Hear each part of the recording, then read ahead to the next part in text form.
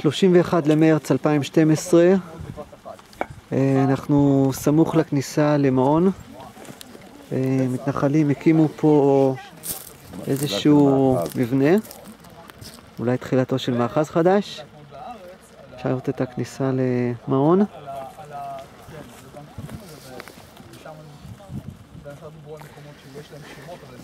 בפנים יש אה, שתי מיטות, מזרון, שני שקי שינה.